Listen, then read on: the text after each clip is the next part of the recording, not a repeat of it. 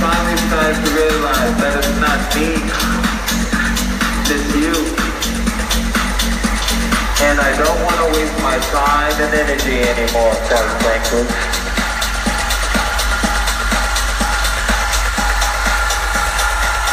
You got issues.